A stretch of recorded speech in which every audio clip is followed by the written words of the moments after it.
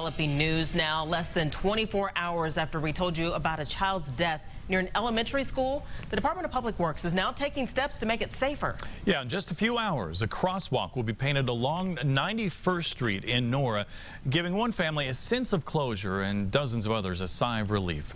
RTV6's Ebony Monet is live in Nora tonight with the latest on this project, plus new details on the young boy killed while walking to tutoring. Ebony. Todd, we spoke to people in this neighborhood who tell me that they have actually been pushing for safety improvements for years. They say it's very much so needed. In fact, they say every day and night you can see children crossing 91st Street, coming from that apartment complex and heading to the school grounds and other locations. And that's why they are excited by news of a new crosswalk and stop sign. They only wish these additions would have been made before this young life was lost. It was last week that a Nora Elementary first grader was critically injured after he was hit by a car car. Police say he ran from his grandmother into 91st Street and he later died from his injuries. School leaders say six-year-old Dawi had a bright contagious smile. He was part of the Burmese community.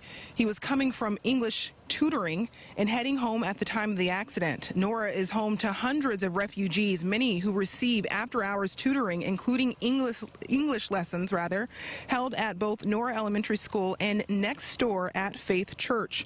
We spoke to people, instructors at Faith Church, including Wee's former preschool teacher, and they tell us during the day, teachers at Nora Elementary School actually act as crossing guards, but at night, families heading to and from their homes are on their own without lighting, crosswalks, or even sidewalks.